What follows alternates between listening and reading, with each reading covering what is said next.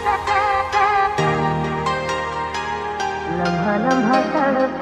my people, kembali lagi bersama saya Febri Hands. Baby Hands.